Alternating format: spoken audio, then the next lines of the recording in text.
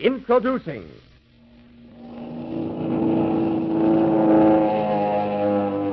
The Daredevils of Hollywood. Hey,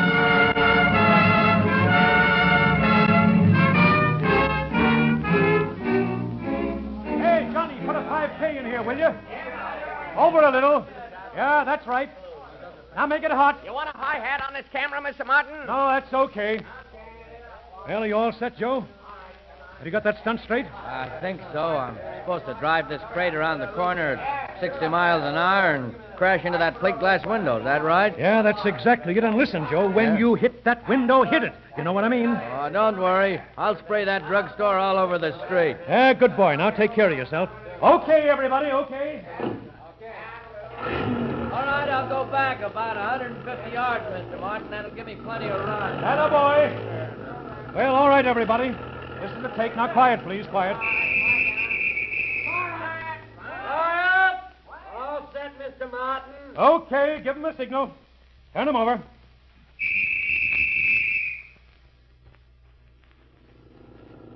Boy, I hope he makes it.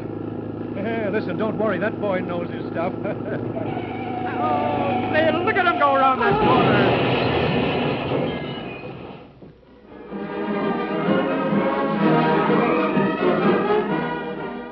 From Hollywood, the motion picture capital of the world, we bring you the thrilling true life experiences of those men behind the scenes. Those daring unsung heroes whose breathtaking adventures on the screen have thrilled millions, whose daily jobs bring them face to face with death. Those men who comprise the strangest fraternity on earth, the Suicide Squad, the movie stuntmen, the Daredevils of Hollywood. Ladies and gentlemen, in bringing you this copyrighted feature, we are privileged to have as our guest one of the top notch stuntmen of Hollywood, Bob Rose. It is through his cooperation that we are able to reenact some of the highlights of his dangerous profession. The thrilling scenes you are about to hear are his own actual experiences. Bob Rose is here in the studio right now, and later in the program we will bring him to the microphone. But first, let us learn something of his job. It is a typical California day in 1921. The picturesque shoreline of Laguna Beach lies stretched out for miles in a lazy sprawl. In some places, smooth beds of white sand glisten in the sunshine, while at other points, large, jagged rocks rear themselves majestically into a peaceful blue sky. At a point in these rocks, we find a single towering stone, which rises to a height of 40 feet, standing some short distance from the shore. It is here that a motion picture company has set up location. Ruth Roland is making a serial, The White Eagle. A very difficult and dangerous scene is to be photographed, and Miss Roland has called in Hollywood's top stuntman, Bob Rose, who is to do that scene. As we near a little makeshift lean to which is being used as an office, we find Mr. Van Hayden, the director, his assistant, and Bob Rose. The director speaks. Well, I'm going to tell you right now, Bob, this is going to be plenty tough. Frankly, I don't know how you're going to do it. Don't you worry about that, Mr. Van Hayden. I've never seen one yet that Bob couldn't figure out. Well, now let's just start from scratch. What is the gag? Well, Bob, you see that big rock out there all by itself? Yeah? We're going to build a grass hut on the top of that rock. We're going to run a telephone pole up through the center to about 40 feet. And right on top of the pole, we build a little crow's nest, a sort of a lookout. You get the idea? Yeah, I see. That makes the lookout 85 feet above the water. Yeah, that's right.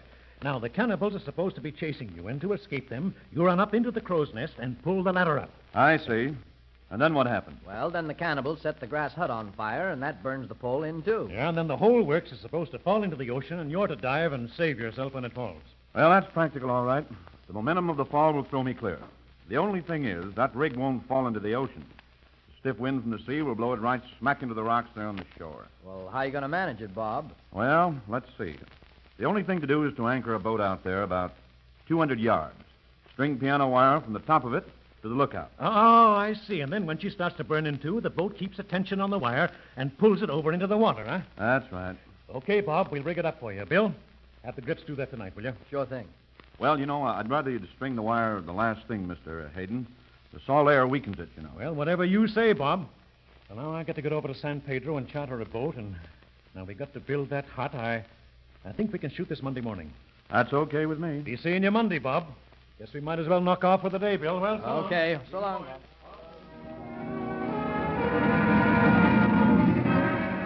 For the next three days, preparations are made for the big scene. It is now Monday morning. The location set is buzzing with activity.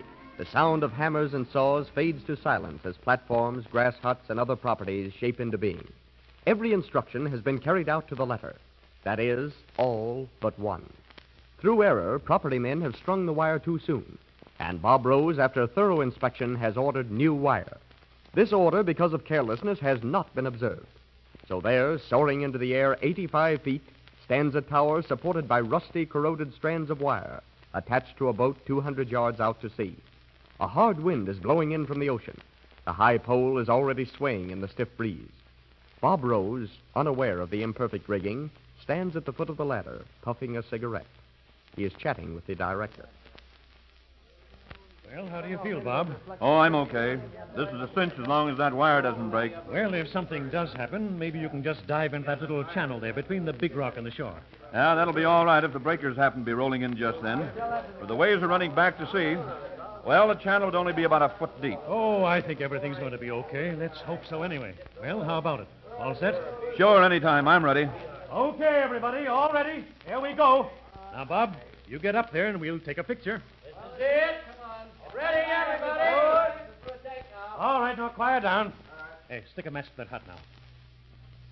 All right, camera. Boy, that baby burns like gasoline, doesn't it? Yeah, it sure does. Look, that pole is catching already. Say, that wind is certainly blowing. Hey, take up the slack on that wire, men. Take up that slack and keep pulling it over.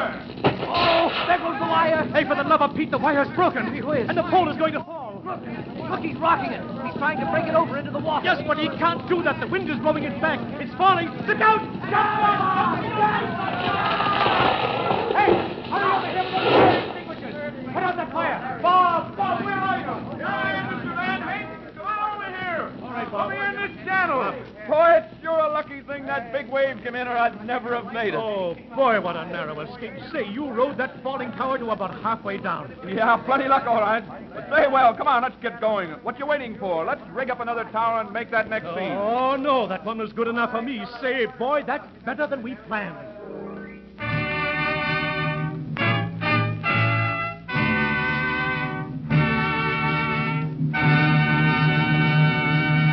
Ladies and gentlemen, it is our pleasure to present the courageous young man who not only made that scene, but hundreds like it. Bob Rose, interviewed by Kurt Foreman. Well, you certainly had us going there for a minute, Bob. That was plenty exciting. It was pretty exciting at the time, too. Bob, tell me, how long have you been doing stunts for the movies? Now you're trying to find out my age. And I won't tell you. But I did work with Pearl White, Ruth Roland, Eddie Polo, and a lot of those. That ought to give you some idea. Well, that's very interesting. Now, have you ever been injured in all these years? No, not seriously. There was a funny thing happened on an airplane gag once, though. Dick Grace was supposed to fly the ship. I was to do a transfer from a motorboat to the plane. It was down at a Uh, point. just a minute, Bob. I see our announcer standing over there, and he gets a turn right here. But we'll hear about that airplane stunt in just a moment. Okay, Bob. Now, what about that airplane stunt? We're all ears. Well, it was on location down near San Pedro.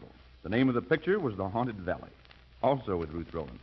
It was a very simple gag. All I had to do was stand on a speedboat and grab a rope ladder that hung down from the airplane. Everything looked all right to me. The boat was plenty fast, and, well, I wasn't worried about the plane. Dick Grace, you know, can fly for me any day. But this old boy with the boat, he wanted to argue with us. He was telling me that he could take his boat. Now, looky here.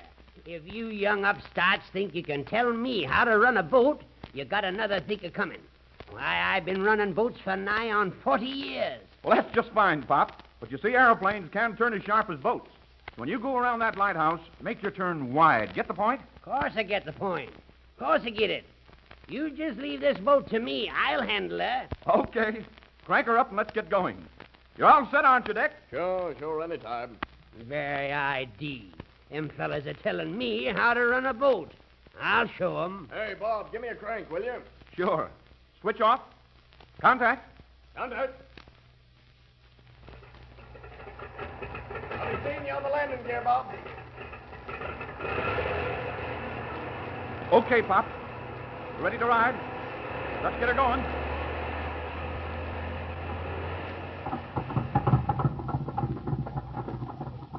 Right out here, Pop, in the smooth water. You fellas sure got a funny way of making a living, ain't you? Yeah, I guess so, Pop, but not bad, though. Now, here he comes. Remember that wide turn around the lighthouse. Take it easy, Pop. Widen your turn. You're going too close to the lighthouse, Pop. Take it easy. Grab that ladder, son. Hang on, hang on. It's dragging me off the boat. Widen your turn, Pop. Holy mackerel! It's dragging him through the water. Whoopee! 85 miles an hour. Look at him bounce. Bob, you certainly were in a tough spot there. Yeah, I sure was. Uh, what happened? What did you do? Well, I bounced along there for a while, an awful long while, it seemed to me. Then I hit a big swell that threw me all over the place. Well, threw me way up into the air, to be exact. That gave the ship a chance to gain altitude, and I climbed up the ladder and just got on the plane. Uh, it's too bad that you had to suffer for that old fellow's mistake. Now, look, what did you, uh, how did you happen to get into this business? Well, uh, just one of those things, you know. Just had to happen. That's all there was to it. I decided to be an aviator, stuntman. There I was. Anyhow, it's a long, long story if I were to tell you all of it. I started out as a race jockey when I was nine years old. Then, about the age of 15, I started motorcycle racing, Wild West shows, high diving acts, and all kinds of things like that. Then I finally got to doing those things for the movies. Bob, if you had your life to live over again, would you be a stuntman?